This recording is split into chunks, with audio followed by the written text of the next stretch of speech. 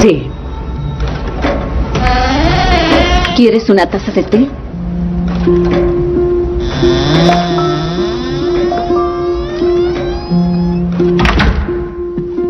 Esto no debe suceder, no puede suceder. Sería un acto criminal, absolutamente criminal. La Escuela San Francisco y la Iglesia han sido la guía y esperanza para la gente de esta comunidad por muchos, muchos años.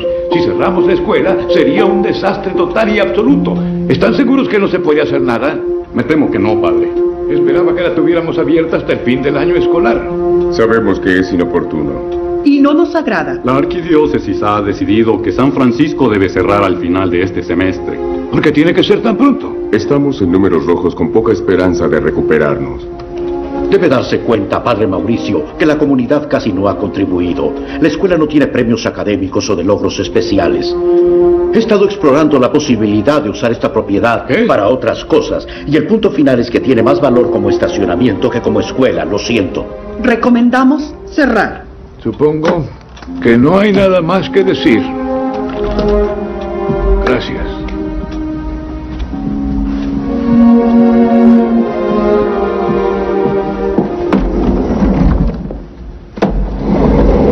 Señor Crisp, debe ser felicitado por su trabajo y su excelente análisis de la situación. Eh, Este, muchas gracias.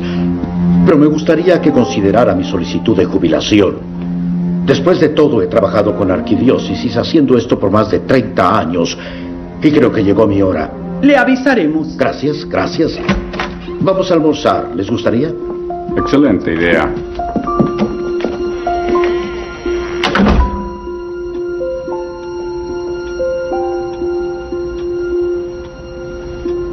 ¿Qué? ¿Qué? ¿Cuándo? ¿Al final del semestre? ¿Dónde escuchaste eso? Ah, De casualidad iba chismoseando por la oficina del padre Mauricio y los escuché hablar sobre eso. Temíamos que esto pasara. Lo esperaba desde hace tiempo. Entonces, ¿qué vamos a hacer? Nosotras seremos reubicadas, quizás, y los muchachos serán enviados a una escuela pública en otro distrito. Es estúpido hacer eso. Es la única escuela que queda en esta comunidad. Bien, tenemos que hacer algo. O si no, vamos a perder a los estudiantes para siempre. Bueno, entonces creo que nosotras debemos hacer algo. Tú quieres decir nosotras, nosotras. Sí, sí, nosotras. Es decir, ¿no te vas? Escuchen, dije que vendré a ayudar y aquí estoy.